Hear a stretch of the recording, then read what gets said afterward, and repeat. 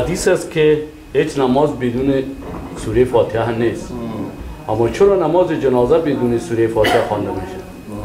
این خوب سوال است. این خوب سوال است. در بحث جنازه انشالله آمده رایست یک چند یک چند درس هم بعد. تکبیر نداره؟ هم چی نداره؟ چند چند درس بعد او میآید. اگر آلی ایره جواب بدیم. باز مجبور که از او درس تیر شیم. خب باز خیلی کیفیت. یادانی بود. آه نه خوب گپ است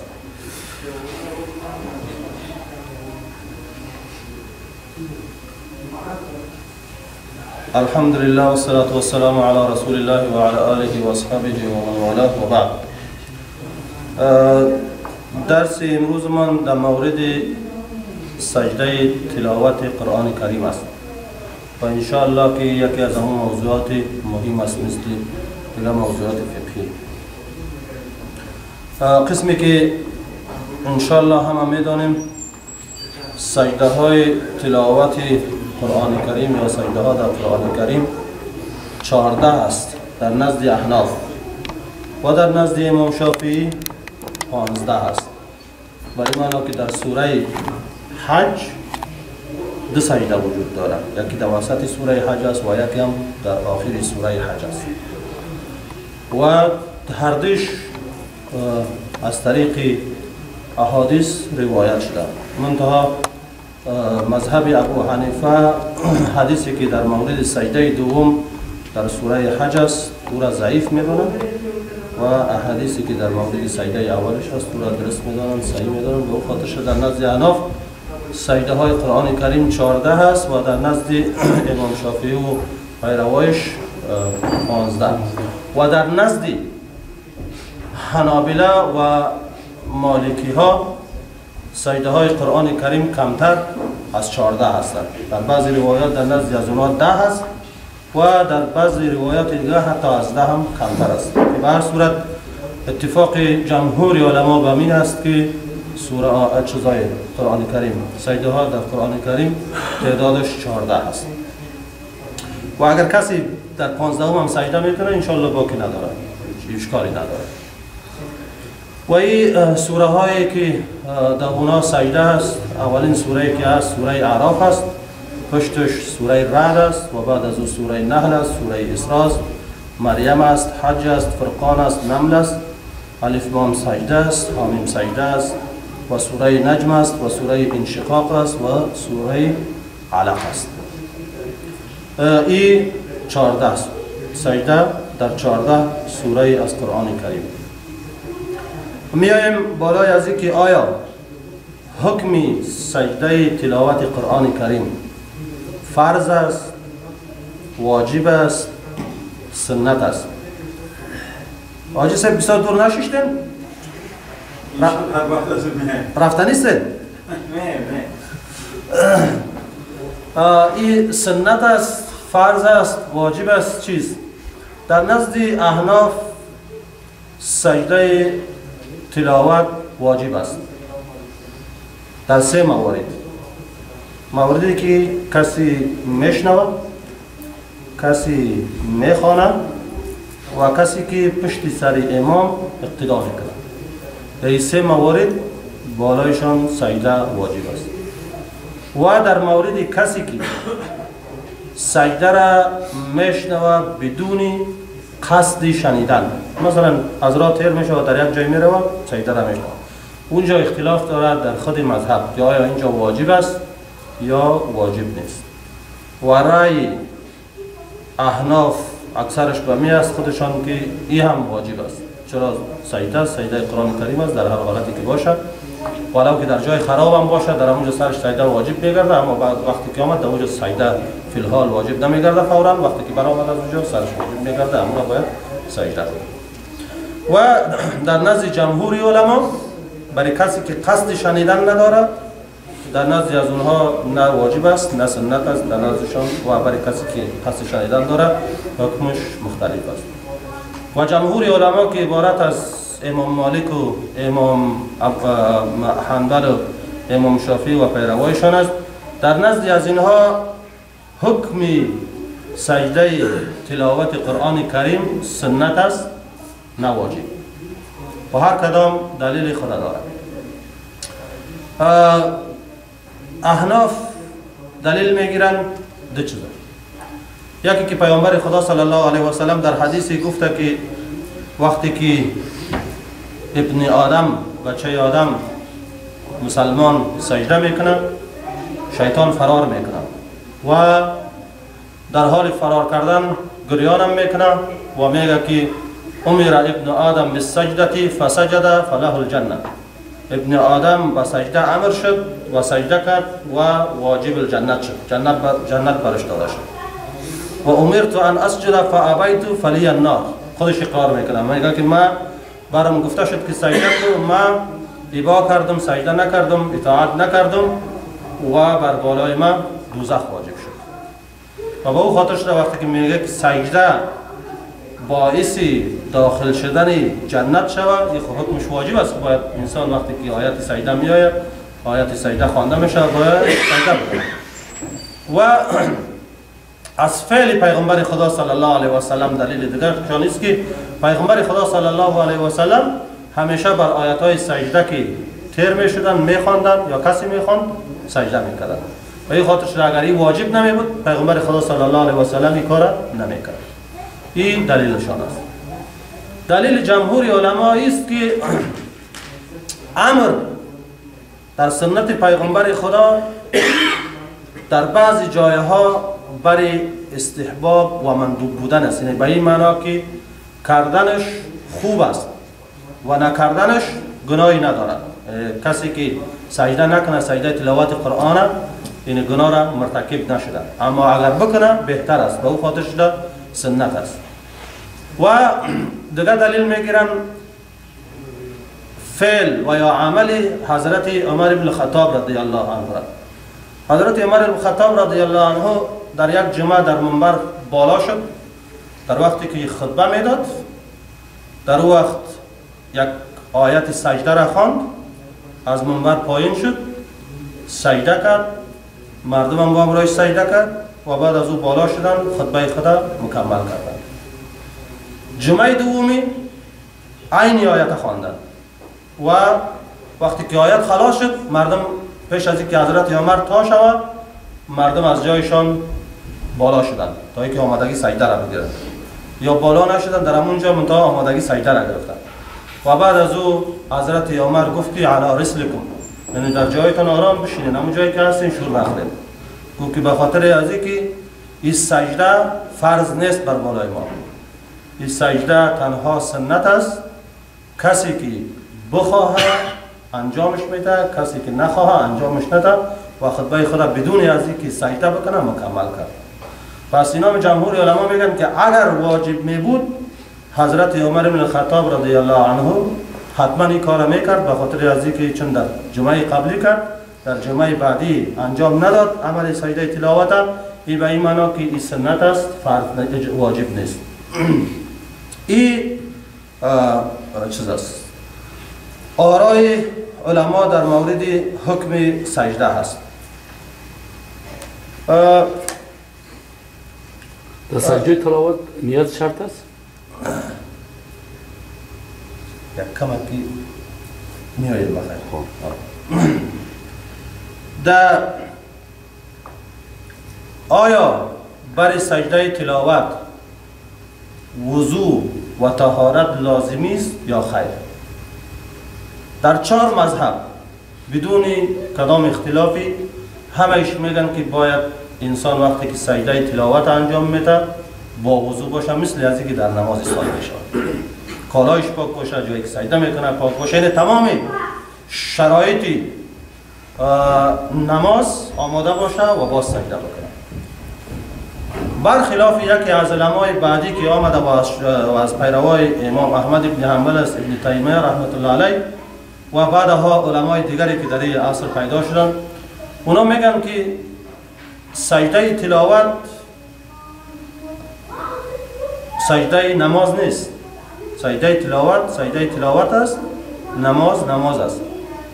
پس کسی که به وضوع و به طهارت اگر سجده تلاوت انجام میده یا میشنوه یا کسی که خوانده و او شنیده و سجده سرش لازم می شود سجده می‌کنه به وضو می‌تونه که سجده بکنه هیچ باکی نداره و برای خانما هم حتی بدون از اینکه در سرشان چادر باشه یا یکی چیز باشه چون شروط نماز وجود نداره در خانهایشان باشن در هر حالتی که باشن سجده سرشان لازم می شود و جمهور علما میگن که ما به خاطر میگم که این واجب است که چون خود سجده خود سجده یا از شروط صلات است یا در حکم صلات است یا بعضی از صلات است. یعنی بعضی از نماز است. و این معنی که اگر خودی نماز هم نبود یعنی بعض شروط نماز حتما دو است. یکی از همون شروط چیست که انسان باید سجده بکنه و سجده در همون حالت است که انسان به خداوند نزدیک می باشه و او خاطرش باید چیز باشه در حالت نماز باقی باشه. اما کسایی که قولی بر بالای از میگن که چون طهارت لازم نیست وضو لازم نیست شرط نیست و سجده.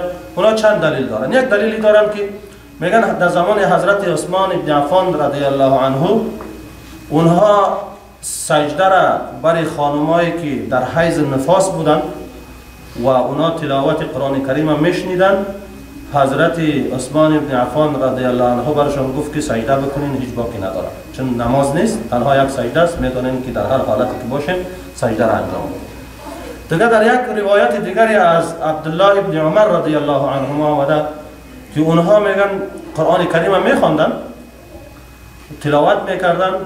یعنی البته منظورشان از خواندن و تلاوت است که بدون از اینکه از روی مصحف می‌دیدن از روی قرآن کریم. از یاد میخواندن و در حالت بیوضویی اونا سجده می‌کردن. و حتی در یک روایت است که حضرت عمر عبدالله بن رضی الله عنه در یک راه می‌رفتن بالای سواری خود سوار بودن هر قسم سواری که بود. وقتی که قضای حاجت برشان پیش شد تا شدن و قضای حاجت خود به جا آوردن و بعد از او بالا شدن باز قرآن کریم تلاوت کردن و در همون حالتی که بودن سجده کردن. اینا میگن که اگر ای تهارت و وضو شرط می بود هیچ وقت عبدالله ابن عمر رضی الله عنه این کار نمی‌کرد. یا حضرت عثمان رضی الله عنه عنه برای زنها امر نمی‌کرد که در حالت حیض نفاس سجده بکنند اما علمای دیگه میگن که چون قرآن کریم از شعائر الله است تلاوت قرآن کریم در حالتی که مصحف آدم باز می‌کنه بدون وضو جواز نداره. و همون خاطرش تا سجده تلاوت از او هم همون منزلت داره و باید وضو کرده شود و بعد از او سجده بکنه انسان. این در مورد چیز بود؟ یکی آیا تهارت شرط است برای ازی و یا نه؟ دیگه است که آیا برای سجده تلاوت نیت گفتیم نه؟ بله نیت. لازمی هست؟ و یا نه؟ نیت به این معنا که انسان مثل که در نماز استاده می شود به شرط نیست که انسان استاده شود. در هر حالتی که بود در همون حالت قرآن کریم که می خواند همون حالت اگر حالتی استاده بود استاده با سجده می رود و اگر حالتی که در جاتش مهم نیست. در, در نشستن بود و در حالت نشسته سجده می‌کنن و از شرایطش است که باید رو به قبله باشه مثل که در پیشتر گفتیم که قسمی که چه قسمی که در نماز استاده میشه اما امام ابن تیمیه رحمت الله علیه میگه که اگر استاده استاد شود و سجده بکنه این بهتر است به خاطر که احترام هم نشان میده و آمادگی در مقابل خداوند استادن هم نشان میده و همچنان احتمام این انسان برای سجده نشان میده که این انسان چقدر احتمام داره به این امری که بالای از شده. و او خاطر شده امام ابن تیمیه اما در نزد دیگه علما چیز شرط نیست که باید انسان استاده شود. در هر حالتی که بود در همون حالت سجده می‌کنه و همچنان از پیغمبر خدا صلی الله علیه و سلم هم روایت شده. حتی در نمازهای نفلی که وقتی که پیغمبر خدا صلی الله علیه و سلم میخواندن همون اسبشان یا هر چیزی که بود بالای از او سواری می داشتن و ما هر طرف که می رفتن سجده می کردن و در تکبیر احرامشان کوشش می کردن در تکبیر تحریمه که بر او قبله استاده شوند و در دیگر رکوع و سجده و چیزایشان به اون جهتی که می رفتن و اون به اون خاطرش این علما میگه که شرط نیست که انسان استاده شود و شرط نیست که حتی در بعضی حالاتی که برش مقدور نیست از استطاعتش خارج است در تیار است مثلا آیت سجده را میشنوه یا که در موتر است آیت سجده را میشنوه. در مو حالتی که هست سجده می‌کنه و همون سجدهش ادام میشه. این نظر علما در مورد از که چیز آیا تکبیر تحریم مثل از که ما شما در نماز تکبیر میگیم این لازمی است یا نه؟ در نزد امام ابو حنیفه و در نزد دیگر علما چیز تکبیر تحریم تکبیر تحریم شرط نیست برای چیز؟ در همون حالتی که هست منتها سجده تلاوت قرآن کریم دو تکبیر دارد یکی تکبیری به سجده رفتن و یکی تکبیری از سجده بالا شدن. و همین دو تکبیر است که انسان ایرا انجام میده و بس و نه دیگر نیت داره و نه دیگر تکبیر تکبیر تحریم داره مثل نمازواری اما در نزد امام شافعی رحمت الله علیه تکبیر تکبیر تحریمه فرض است. یعنی یکی از شرایط سجده تلاوت قرآن کریم دستار بالا کردن و تکبیر تحریم گفتن است در نزد امام شافعی. و کسی که انجام نداده سجدهش باطل است باید از سر سجده بکنه و در نزد دیگر علما این وجود ندارد و میگن که هر قسمی که سجده کرد در امو حالت فقط امو درکو را به جا میارد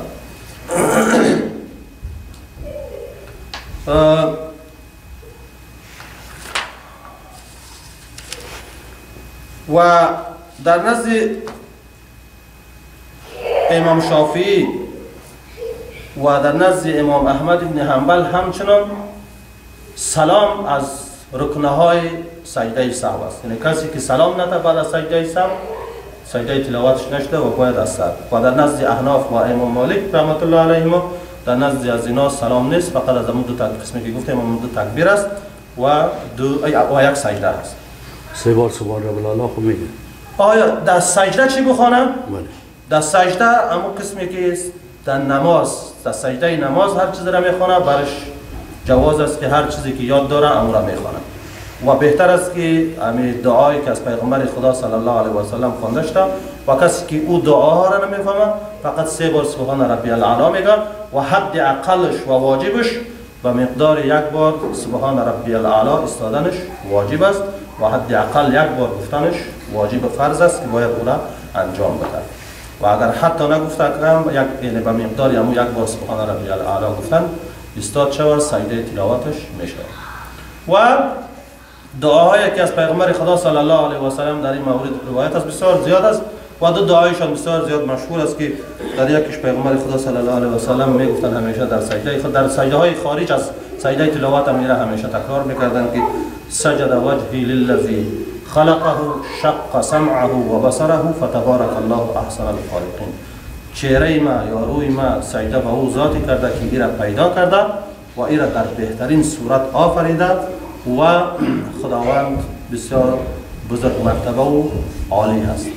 و در دیگر حدیثی هم هست که پیغمبر خدا صلی الله علیه و سلم می گفتند که اللهم اکتب لی بها عندك اجر ای بار خدایا ту ба и саҷдаи ма дар назди худ бари ма аҷр бинвис ваҷъалҳо ли индака зухран ва ира дар назди худат бари ма захираи рӯзи охират бигардон вада анни биҳо визран.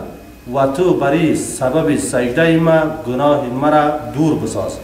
Вақбалҳо кама тақаббалта мин абдика давуд алайҳи ассалом ва ҳамчуноне ки ту аз давуд алайҳи ассалом саҷдаиша қабул кардӣ تو همین سجده مرا مورد قبولیت خود بگردان. این سجده و برای کسی که مقدور نبود گفتیم میشه که چیز بخونه. هر دعایی را که برش یاد داره همون دعا را می‌تونه بخونه یکی از سوالا وجود داره همیشه در ذهن مردم که یا کسی که سجده نکرد ای چی بکنه؟ یعنی سجده تلاوت سرش لازم شد؟ یا عمدن نکرد یا سهوان از یادش رفت نکرد؟ چی بود؟ بعضی از علما میگن که یک در بعضی جایا از بعضی علما بدون از اینکه از حدیث باشه یا از از, از فعل صحابه باشه یا از قول صحابه باشه اینطور روایت ها می‌کنن که میگن که یک بار بگه که لا اله الا الله وحده لا شریک له له الملك و له الحمد و هو على كل شيء قدیر. یا که ربنا آتنا فی الدنیا حسنه و فی الاخره حسنه و قنا عذاب النار. این چیزایی هست که در حدیث وجود نداره و علما به این رای نمیتن که آدم باید ای در مقابل سجده کفایت بکنه به خاطر که سجده دیگه چیز است؟ دعا دیگه چیز است. و هیچ وقت این دعا مقام سجده را گرفته نمی‌تونه و هر وقتی که برش مقدور بود اون سجده را یک بار انجام بده سوال دیگری همیشه وجود ای داره که آیا یک سجده برای در یک جلسه که مثلا 14 14 سجده را می‌خوانم یا در نزد دیگر علما همین 15 سجده را می‌خوانم. آیا یک سجده کافی هست برای از آدم و باید برای هر آیه سجده یک یک سجده علاهده بکنم در نزد احناف باید برای هر آیه که سجده را خوانده یک یک سجده انجام بده. و در نزد دیگر علما چون سجده هست وقتی که یک سجده بکنه همه سجده ها براش اتفاق می‌کنه و همون یک سجده که در آخر کرده یعنی و کسی که حفظ می‌کنه قرآن کریم. و سجده تلاوت قرآن کریم مثلا یک سوره را حفظ می‌کنه در همون سوره سوره اخرا را مثلا یک کسی حفظ می‌کنه.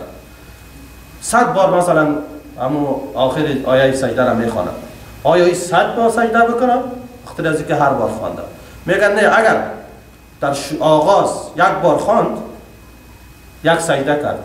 و تا با آخر همون جلسه که شش تا از جایش نخسته و این هزار بار دیگر هم که بخوانه فقط همون یک سجده که در اول کرده برش کافی است. حاجت از این است که بار بار این سجده را تکرار بکنه و اگر جایش تغییر داد چون مقام سجده فرق می‌کنه پس در جای دیگری که رفت شش باز در اونجا یک سجده کرد باز اگر خان پیش پروا نمی‌کنه این سجده برش اکتفا می‌کنه دیگه مسئله است که شما پشت سر امام می‌خورین. امام وقتی که خان دو قسم سجده می‌کنه یک قسمش است که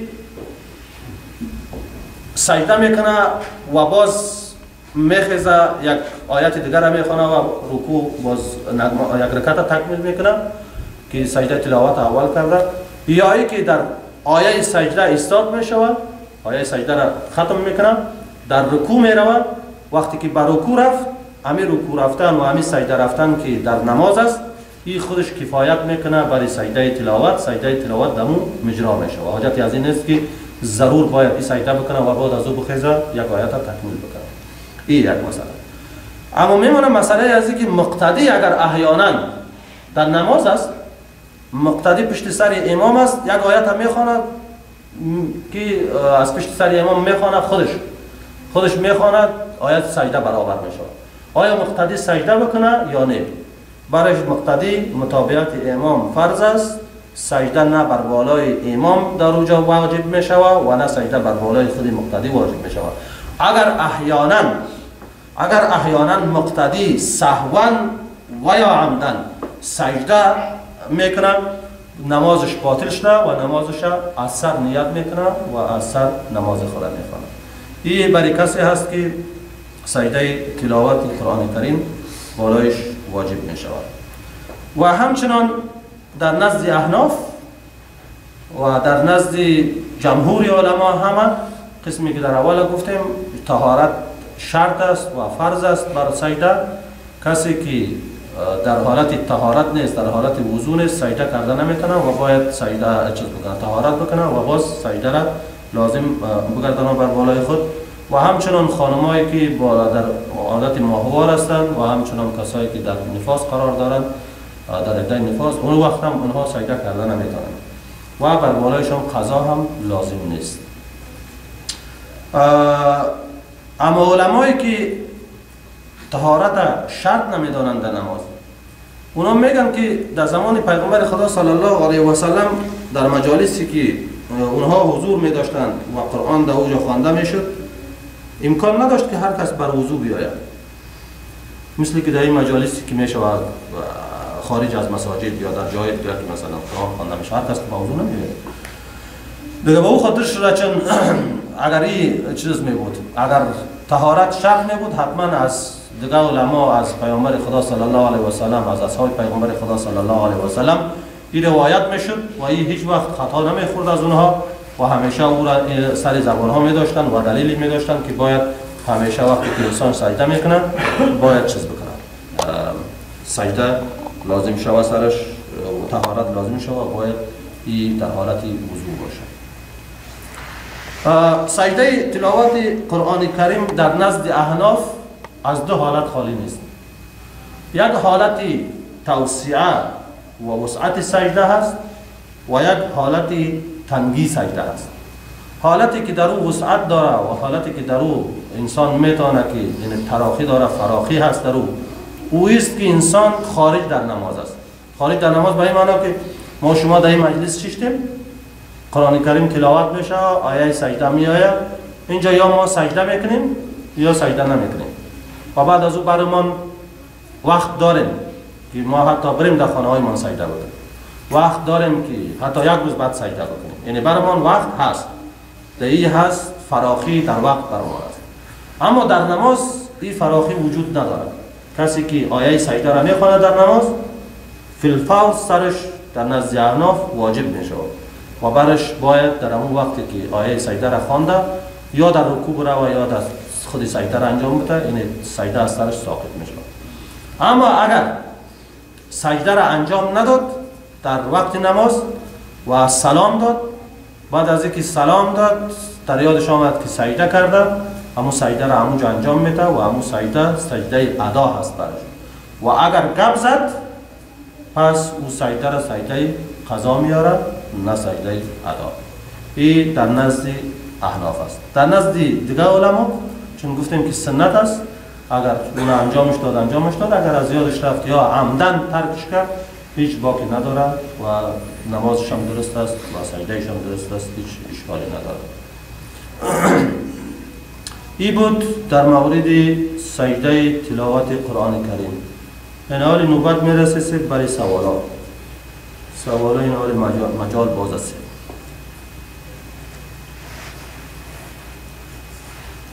فکر می‌کنم مشکلات حل سوال نمان نه هست. سوال هست. هست باش که دوستا من. آدم در رادیو میشنم تلاوت قرآن میشنم آیت سجده می یا در تلویزیون می‌بینم باید سجده کنم اه، یکی از علمایی که پیروی احناف هستند در هند همین شیخ ابو حسن الندوی گرچه او یعنی به اصطلاح فکری باز داشت خب منتها در بعضی مسائل از احناف پیروی می‌کنه. او آدم قولش است که در نوارهای صوتی در شنیدن از طریق تلویزیون و یا شنیدن از هر آله ضبط دیگری که مثلا انسان به چشم اه، نخواند. در اون صورت بالایش سجده سهو چیز نیست واجب نیست. سجده تلاوت. چی سر می‌باشم سجده تلاوت. ها سجده تلاوت سرش واجب نیست. ام، اما چون در ابتدا گفتیم که در نزد احناف اختلاف است در مورد کسی که بشنوه چه قصد شنیدن داشته باشه و چه قصد ناشنیدن داشته باشه و او خاطر شده اگر قصد شنیدن داشته باشه از هر آلهی که باشه و از هر طریقی که باشه چون قرآن کریم خوانده شده و آیه سجده تلاوت شده اگر سجده کنه بهتر و خوبتر است. مهم نیست که انسان در سرک باشه موترش ایستاد بکنه. میشه که همون یک اشاره بکنه همون اه، چیز میشه و ادا میشه. می رابطه با می چاریار حضرت محمد صلی الله علیه و اینا پیروی از کدام مذاهب می‌کنن؟ خوب سوال است. مذاهب که بود خب بعد از این آمد. خب. مذاهب بعد از این آمد. و دین که هست سلسله دین یعنی مراتبی که دلایل شریعت در او قایم می شود و من حیث دلیل شرعی پنداشته می شود تا به حیات یکی از اصحاب پیغمبر خدا صلی الله علیه و سلم. چون پیغمبر خدا صلی الله علیه و سلم میفرمایند که اصحاب کن نجوم اقتدیتم؟ یا ای؟ اقتدیتم. صحابه ما حیثیتی ستاره های آسمان دارد. شما بر هر کدامش که عمل بکنین با قول هر کدامش که عمل بکنین شما راهیاب هستید و این معنی که قول یکی از اصحاب انسان اگر دلیل خود در یک کاری انجام میده چیز انجام میده و او را دلیل خود میگردانه و این معنا که دیگر گفته نمی‌تونه برش که تو چرا این کار کردی؟ مثلا ما خوب مثال داریم. 20 رکعت نماز تراویح. از زمان کی است؟ از زمان حضرت امام است. اگر یک کسی بدعت میگه بسیار گناه کلام کرده گناهکار میشه بخاطر از اینکه اعتراض سر کسی کرده که پیغمبر خدا صلی الله علیه و سلم او را گفته که این حیثیت ستاره را داره و شما را یاد شود یا دیگه مواردی که وجود داره دلایلی که وجود داره پس به خاطر شده هر عملی از اصحاب پیغمبر خدا صلی الله علیه و سلم ما هیچ وقت به انگشت انتقاد گرفتن نمی‌تونیم و هر کسی که به هر قول یکی از اصحاب پیغمبر خدا صلی الله علیه و سلم عمل می‌کنم او راه یاب است ان مطابق با حدیث پیغمبر خدا صلی الله علیه و سلم. چون در وقتی مذاهب وجود نداشت بینن اونا مثل از این مذاهب که اینا هم پیروی پیغمبر خدا صلی الله علیه و سلم و پیروی اصحاب پیغمبر خدا صلی الله علیه و سلم اونا در مکتب پیغمبر خدا صلی الله علیه و سلم تربیت شده بودن و در همون مکتب فقهی پیغمبر خدا صلی الله علیه و سلم از همون پیروی می‌کردن. اما در او وقت همین اختلافات فقهی وجود داشت. مثلا احکامی که هر صحابه استنباط می‌کرد از یک صحابه دیگه فرق می‌کرد. و وقتی که پیش پیغمبر خدا صلی الله علیه و سلم می‌رفتم و ایشم تایید می‌کرد و اوشم تایید می‌کرد. چون فهم یک انسان در نصوص دینی و استنباط از او وقتی که در درجه اجتهاد برسد برش آزاد است. اما برای کسی که در درجه اجتهاد نرسیده برای از او و اون خاطر شده. ما در اصحاب پیغمبر خدا صلی الله علیه و سلم با وجود از اینکه می‌گفتن که اونا پیغمبر خدا صلی الله گفته بود که اینا مانند ستاره هستن شما را میشه. ما بسیار مجتهدین کم در ما بین صحابه می‌بینیم. با وجودی که همهش عالم بودن. با وجودی که همهش از احکام دین با خبر بودن. اما با هر مشکلی که مواجه می‌شدن پیش پیغمبر خدا صلی الله علیه و سلم می‌رفتن یا پیش اصحاب کسایی که اینا درست میفهمیدن درک می‌کردن پیش از اونها می‌رفتن. و حتی بعد از رحلت پیغمبر خدا صلی الله علیه و سلم همچنان اینها هیچ وقت جرأت نمی‌کردن که از پیش خود. مثلا در زمان پیغمبر خدا صلی الله علیه و سلم همین مفسر قرآن عبدالله ابن عباس عبدالله ابن مسعود رضی الله عنه یا فقیه همین امت مثلا عبدالله ابن مسعود رضی الله عنه یا عبدالله ابن عمر رضی الله عنه یا خود حضرت علی رضی الله عنه اینا کسایی بودن که فقه پیامبر خدا صلی الله علیه و سلم درک کرده بودن و اینا استعداد استنباط داشتن. دیگه صحابه هیچ وقت جرأت نمی‌کردن. اونا می‌رفتن پیش همین اصحاب پیغمبر خدا صلی الله علیه و سلم. یا خانما بودن مثلا. در بسیاری مسائل بعد از رحلت پیغمبر خدا صلی الله علیه و سلم از حضرت بی عایشه پرسان می‌کردن. خصوصا در مسائلی که مربوط به خانما می بود.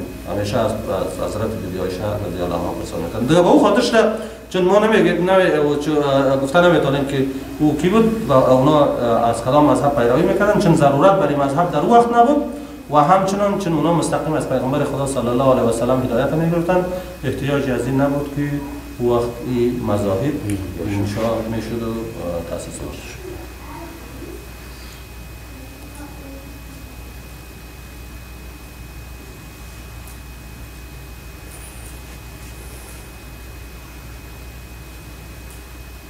انشالله که سوالا خلاص شد.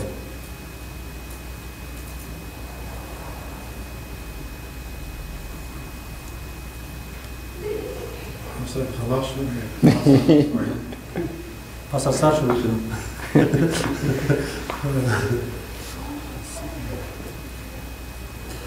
خب من یک سوال دارم. امی کسی که در مسجد شیشتیم قرآن کریم هم میگیریم میخوانیم. درست است وقتی که آیه سجده میایه سجده را می‌خوانیم. وقتی سجده می‌کنیم همین قرآن کریم در کجا بمانیم قرآن کریم از سر پای بمانیم یا همون تو باز بگیریم سجده بکنیم و باز بخوانیم. چی تو بکنیم؟ ما خرابه دیدیم در دست نمیشن گرفته و سجده می‌کنیم. یک دستش قرآن کریم باز در دیگه دست سجده می‌کنیم. نشانی کنه و سجده.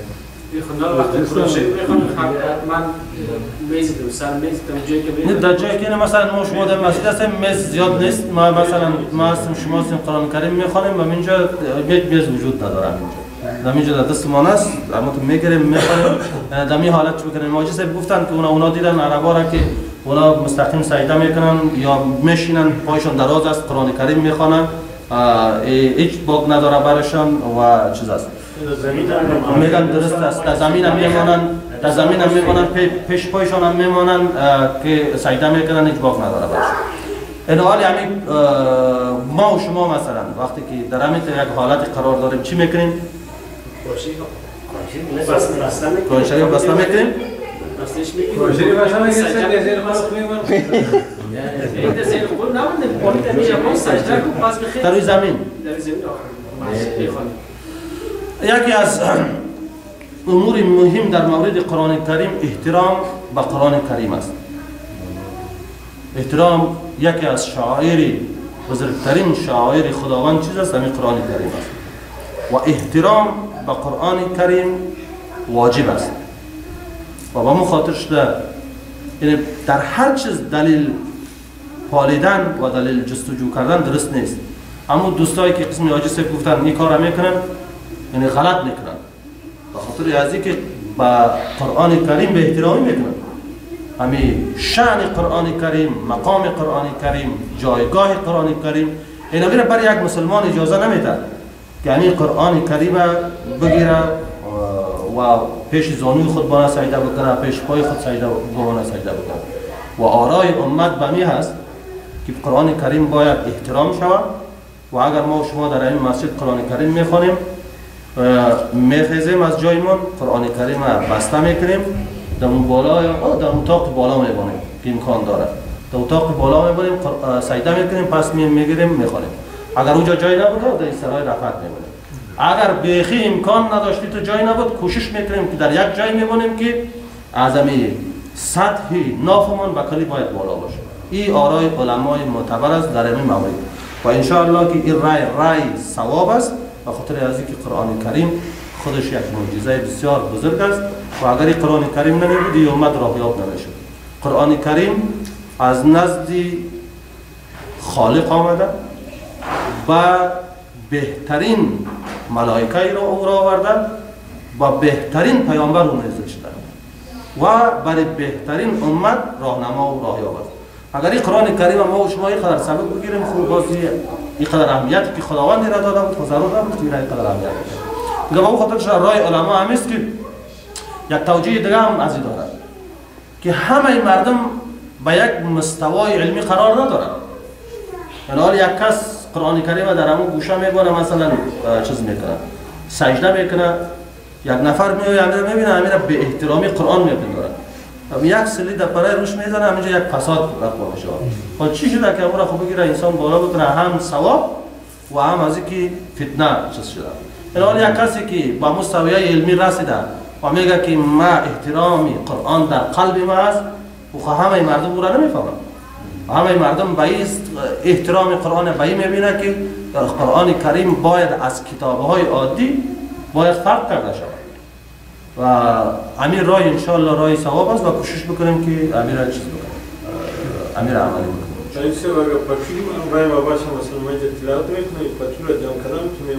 هیچ باگ نداره فرق نداره. این منتها چیز باشه. از سطح زمین بالا باشه. هیچ باگ نداره. این خودش احترام نشان میده که یک چیزی هست که بالاتر از اوی از جایی هست که شما او را مانده سجده می‌کنید هیچ باگ نداره انشاءالله. و یک سوال سه بدون از این موضوع.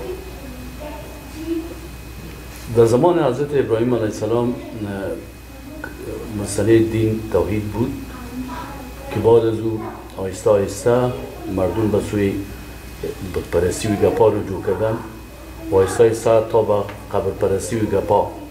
این حال امی محمد عبدالوهاب که این روی کار میه و این اشتباهاتی را که در او عصر زمانی که خود از وجود می داشته باشه و کسایی که با او هم, فکر و هم نظر هستن اینا امی ممانعت ها را با وجود میرن که مردم از امی راه ها نجات بیافن و امروز چرا مردم به رحله وهابیت به اصلاح قد علم می‌کنن چرا اینا را زد می‌دانن برای خود؟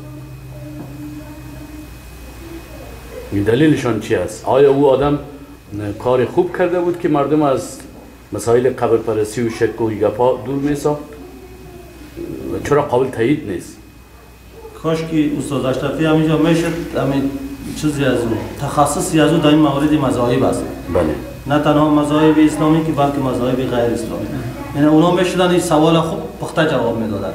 خب ما این جواب سوال هست پیش مثلا چرا غیر جواب وهابی وهابی میگن یا مذهب. شاعری و ما که می‌فهمیم که و آدم مردم به اصلاح از مسئله قبر پرستی.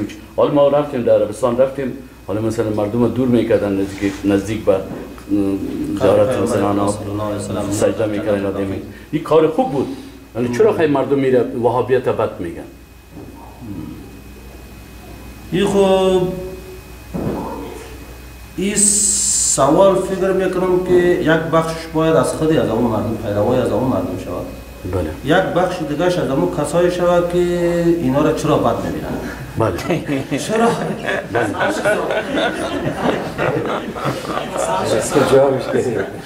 چرا؟ اگر من ما این را جواب بتم باز این بسیار یک نازکی و باریکی داره به خاطر از اینکه من با بسیار کارهای از اونا اختلاف دارم و با بسیار چیزهای دیگرشان موافق هستم.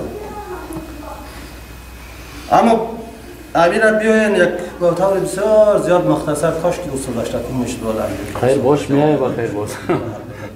خب به هر صورتش ما اگر در چهار مذهب دیگه هم ببینیم در اصل خود مذاهب ببینیم. همین مسئله قبر پرستی همین مسئله زیارت و زیارت هایی که وجود داره اه، همین مسئله که شخصیت های بزرگ دینی و شخصیت های که کسایی که زاهد بودن کسایی که بزرگوار بودن کسایی که دین دوست داشتن و کسایی که شب و روز در دین غرق بودن و همیشه زندگی خود وقف دین کرده بودن نه در زندگی خود او افراد بزرگوار و نه در اصل خود مذاهب چنین چیزی را میابیم که چیز است. همین یک چیز وجود داشته باشه. که مردم برای زیارت بکنه و قصد از اینکه مثلا در اونجا عبادت باشه اما متاسفانه بعد بعضی چیزها به نام مذاهب در داخل مذاهب نفوذ می‌کنن و مردم از هر طرف صبغه دینی را میتن و متاسفانه کسایی که از دین درست آگاهی ندارن و اینها تقرب به خدا را از طریق امی مردمای نیک شروع می‌کنن. که میگن والا این امی فلان خب بنده مقرب خداست. این را خداوند بسیار دوست داشت. من اگر دامن یزی را بگیرم خداوند مرا دوست میداره به سبب یزی شده. به دلیل یزی که اینها چون کسایی بودند که با خداوند ولی خدا بودند و فریادی از اینا را خدا میشنید و ما شاید یک توسل بکنیم به اینها و همین مسئله توسل هم بسیار زیاده که بحث جنجالی است در مذاهب فقهی خود فقهی و اصول عقاید که جایش نیست در اینجا که سری از او بحث بکنیم. با او خاطر شده چون در احادیث هم می‌بینیم که پیغمبر خدا صلی الله علیه و سلم گفتند که لا تشد الرحال الا الى ثلاثه مساجد. به قصد عبادت و جز این زیارت و جز به سه مسجد و دیگر هیچ مسجدی جواز نداره که یک انسان قصدی زیارت برود. نه به زیارت امام رضا و نه به زیارت امام حسین رضی الله عنه و نه به زیارت امام علی ابن ابی طالب رضی الله عنه یعنی به هیچ زیارتی چون حدیثی وجود داره که یکیش مسجدی حرام است و یکی مسجدی هازا که مسجدی ما در مدینه است و یکیش هم مسجدی اقصا است. این سه مسجد. خارج از این سه مسجد هر کسی که هر جایی می رود دلیلش باید خودش بگه. یعنی یک انسان مسلمان آگاه از قرآن و حدیث اما قدر میگه که بجز از همین سه مسجد به قصد زیارت رفته می‌تونی. میره اونجا که نماز می‌خوانی یک نماز در مسجد. آقاجی صاحب یک نماز در مکه مکرمه چند ثواب داره در مکه مشرفه. صد یک نماز در مسجد پیغمبر خدا چند چیز داره؟ هزار هزار هزار. از در بعضی احادیث همین ارزش درست است. هزار است هزار است. یک هزار هم است ده هزار هم است پنجاه هزار هم است. حدیث بخاری یک هزار است. آه، در این حدیث بخاری یک هزار. یه مسجد چیز؟ مسجد اقصا چقدر ثواب داره؟ پنج سال در حالی در بجز از همین سه مسجد کسای دیگری که اگر به هر جایی که می‌روند به قصد زیارت و به قصد نماز خواندن از خودشان باید پرسان شود چرا برادر اما در مورد عبدالوهاب نجدی چون اونجا بر علاوه از اینکه او آدم آدم دلسوز بود بعضی کارها را کرده بعضی کارهای سیاسی هم در اونجا وجود داشت. یعنی از این باید ما شما این کار نکنیم. که کارهای سیاسی هم در او وجود داشت به هر صورتش. و دوش ما بحث نمی کنیم منتها یعنی کاری که اصلی که انجام داده اونقدر کاری بد نکرده به نظر من. به خاطر از اینکه چون امو در اصل دین وجود نداره. و اگر وجود می داشت باور بکنیم که اصحاب پیغمبر خدا صلی الله علیه و سلم قبر پیغمبر خدا صلی الله علیه و سلم چطور بنا می‌کردن. چون اون محبتی که پیغمبر خدا صلی الله علیه و سلم چه محبتی که اصحاب پیغمبر خدا برای پیغمبر, پیغمبر خدا داشتن. او را هیچ کس در همین زمان چی در زمان های گذشته و هر کسی که دعوا بکنه که من مثل صحابه پیغمبر خدا صلی الله علیه و سلم دوست دارم من میگم دروغ میگه و او خاطر شده. چیز است. اما بحث بخش دومش کسایی که بد می‌بینن ولی از اونا پرسان شد که چرا بد می‌بینن. فهمید های بعضی دلایلی وجود داره. یعنی مثلا انفی هست یا شبیه هیچ وقت من کوشش نمی‌کنم که یک نفر دیگه بیاد و چی شامل شد دا باش. انفی شود این همیشه تو کوشش می‌کنه که مردم را جذب کنه یکی. و دیگه یکی یعنی همین نجدی خودشان یعنی به سعودی برای مقصه کردن. اونا مسجد های خاص دارن اصلا. و اگر میش میگه اگر خیچی بخوره بدعت است. یعنی از آنی که یعنی میشه میگه بدعت است در جمعه. خب. و از آنی که میشه میگه این بدعت است. ولی در رادیو هم ریاض پوست کازان میشه. می خود همی چی است همی چی را که در خطبه که در عرفات میتن اما قبل خودتان یک مسائل سیاسی دارد. مسئله سیاسی وجود مثلا ما در مسجد نبوی شیشتا بود در صف چهارم یک بچه بسیار کوشش کرده خود بیروبار بود. رسان نمیده مرا جایی از تاجیکستان بود. تو خیرت از ما می‌بینم که در مولاد چی نخواه لباس می اون چرا گفت وطن ما گفتم وهابیا پیدا شده کلشان نام خدا سرایشان یک رقم بیشای نیم متر و نیکر پوشیدن نه و در کستاد میشه و کل گرازان هم میتر نماز دیگر کسا کلش بدت میگه. مثلا در اینجا ما دیدیم که دعا می‌کردن یک نفر صدا کرد گفت دستی که به دعا بلند میشه بشکن دیگه ملیت خدا دیگه چطور داد بد نمید همین لباسی که اینا در مثلا در- در- در- در نزد خدا استاد میشن همین کرایی که اینا به صورت عموم می‌بینیم که نه یعنی اینو من نمیفهم نمیگم که از زانو پایان است میکرایشان چی هست لیکن کلشان یک رقم هم تو نه داری در نماز استاده میشن خود در مجلس شما هم حالا یک نفر که چی می‌داد نماز می‌داد کل چی جانش معلوم می‌شد بعد چی گفت که تو واقعیت هم گوش و بابا نیکر می جماعت هم می تو کل جانش هم معلوم میشد. یعنی بعض مسائل داره که مثلا مختصی گپ بزنه و میگه که صحیح نمیگه. هر کدام از اینا مختص انتقاد میگیرم یعنی بعض خ- خواصای خواریجی رو داره. یعنی خوارج ایجایش هم میگه مثل گوپای شطور وری کل یک قدر سجده کرده بودن یک قدر چی بودن که هیچ کدامش هم میگه کلش ذکر خدا رو میکنه هر چیز میکنه لیکن بسیاری تو- ترش و تند چی بود میگه کل مردم ها بیدت میگه کلش هم میگه که خارج از دین است اینا کافر است اینا فلانه است همین خاطر است ولی من هیچ وقت سر کسی انتخاب نمیگم برای من نمیگم مثلا لیکن بعد مسائل شکل می‌بینم برای من بله سیما همین لباسشان خصوصا که من می‌بینم در جوانان میایم پیش روی خدا استاد میشه و من کرایشان می‌بینم یک خوب به حضور خدا در تربیت پیش یک نفر برای جواب میره بله. پیش نکتایی و خوب دریشی می و نگه نیکر خود را امیر ما یقین بله که پیش روی خدا استاد میشه اینجا در- لباس بسیار خراب بد است. و یک دعا می‌کنه و میگه بدعت است و آدم می‌بینه اینجا ما شده بودیم که دستی کس بشکنه که با دعا بلند بشه آنه احترام خوب باید احترام خوب باید شود و آداب اجتماعی همیشه مراعات شود. باز خصوصا در داخل مسجد خود این تاریخ اسلام هم میره میرسانه که چی در زمان صحابه چی بعدها.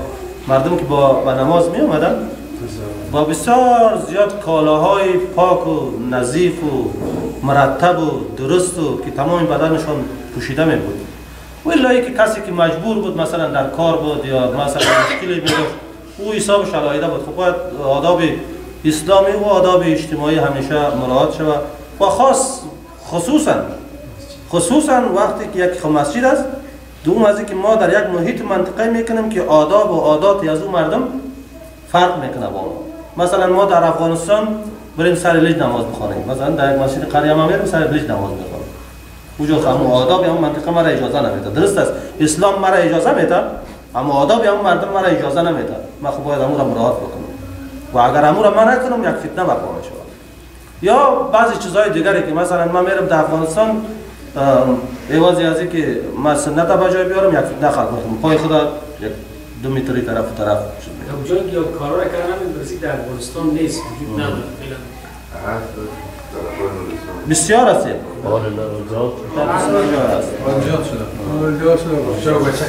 باشه راجع برای لباسی که میگه باید تا بزایی کشان نباشه.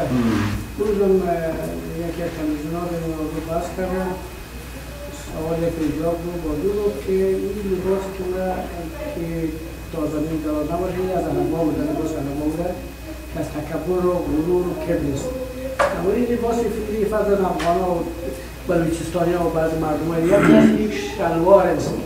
اگر این کوتاه باشه شلوارک میشه. این اگر دراز هم باشه و اگر این از تجربی نمیشه باشه این فرق نداره. بیسش رو چی؟ دو, دو حدیث وجود دارد یکی است خود ایزار نام گرفته شده در یک حدیث. که ایزار باید همیشه بالا از زمین بجلک باشه. و یک حدیث دیگه است که عام است. ما تحت الکعبین. هر چیزی که پایان داد از همین دو بجلک بود. یعنی با او خاطر شده باز توجیه از این دلیل و که او زمان عرب بود و حال لباس ها فرق کرده فکر می‌کنم که توجیه درست نیست. توجیه امین تمام علما اسلام از صدر اسلام تا به امروز علمای کسایی که امین احادیث شرح کردن. و می است که مهم نیست که چیزی لباس. هر چیزی که هست باید از همین بجلک بالا باشه. چی چپن باشه؟ چی جامعه باشه؟ چی کرته باشه؟ چی ایزار باشه؟ چی چادر باشه که انسان بسته می‌کنه من رئیس یک لنگ و یک چیزی که هست. هر چیزی که هست یا پتلون است هر چیزی که هست کوشش شود که از همین چیز. بجلک بالا باشه. و با مو خاطر شده چون صحابه وقتی که حدیث از پیغمبر خدا صلی الله علیه و میشنویدن اونا جدی می‌گرفتن این مسائل و در همون مجلسی که پیغمبر خدا صلی الله علیه و سلم صحبت کرد حضرت ابوبکر وجود نداشت در اون مجلس. یکی حدیث برش رسید گریان کده پیش پیغمبر خدا آمد. گفت ما خلاق شدم گفت پیغمبر خدا. تو گریان می‌کنه طفل واری گفت که خاطر چی علاق کرده گفت ما خدا آتش دوزخ رفتم. گفت چی رفتی؟ گفت به خاطر از اینکه خب ما نبودم. در این مجلس خودت گفتی که کسی که کالایش از بجلکش پایان است او در آتش است.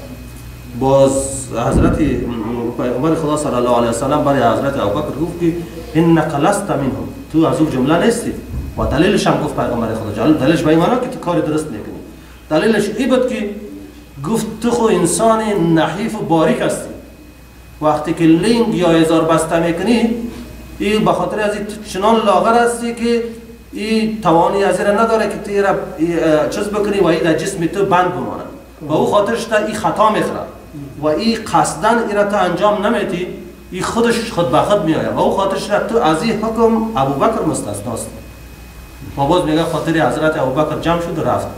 این حال اگر ما این را ببینیم هر چیزی که هست کوشش شود که باید از این حدی اقل اگر همین توجیه را درست بدانیم. حدی اقل به حدیث پیغمبر خدا صلی الله علیه و سلم عمل شده او توجیه را خود پشت سر بگذاریم هر قسمی کرد دیگه او خودش را کوشش شود که هر چیزی که داریم و بعضی مردم های را غلط می‌فهمند. غلط به این می‌فهمند که در نماز تنها همی است. همین فرض تنها در نماز است. این چی در نماز باشد؟ چی خارج نماز باشد؟ حتی در بعضی جایها بیرون خارج از نماز فرستر پیش از نماز است. بخاطر از اینکه وقتی که ما شما داخل مسجد میایم یک جای پاک میایم اگر این از زمین هم بخوره هیچ پاک نداره. این از لحاظ منطقی و عقلیش اما اگر بیرون بدیم در اونجا فرستر است به خاطر از اینکه ما نمی‌فهمیم که در روی چی حرکت می‌کنیم. یا در تشنابایی که وجود داره که مثلا ما در اونجا قدم می‌زنیم میریم. دیگه با اون خاطرش را کوشش شود که همیشه با سنت عمل شود ان بهتر و خوبتر همیست و او علمایی که تا هر قسم توجه می‌کنن او دلایل خود دارد.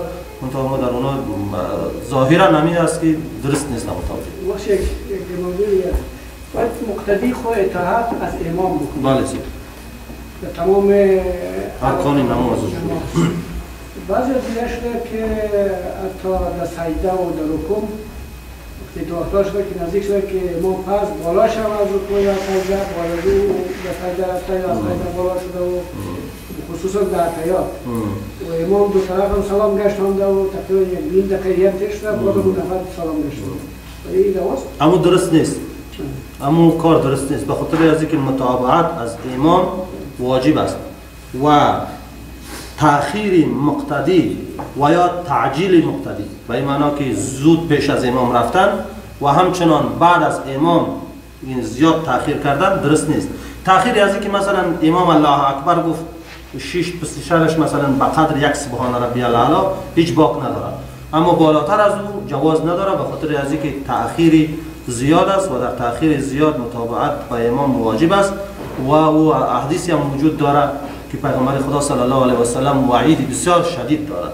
و او غیرش است که کسی که از امام پیش سجده می‌کنه یا رکوع می‌کنه و یا در معنای حدیث علما تشریح می‌کنن که کسی که بعد از امام و بسیار تأخیر زیاد اه، میخیزن از جایشان آیا اینا بیمی از زیره ندارن که خداوند سری از اینها را سری خر و یا خوب بگردن این بسیار وعید شدید است. در هیچ چیزی تو وعید شدید پیغمبر خدا صلی الله علیه و سلم ندادن.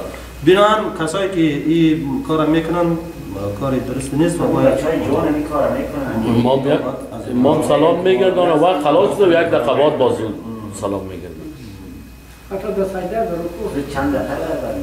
سجده و رکوع هم بسیار زیاد این کار را می‌کنه. در سجده در رکوع وقتی که بر رکوع میرون وقتی که از رکوع از سجده به بالا میشون خصوصا در مسجد نوبل پارک بریم اونا جاترش این کار می‌کنن. به تو وقت میشه که امام استاده میشه بله. تقریبا چند ثانیه تیر میشه ما نظام سجده است.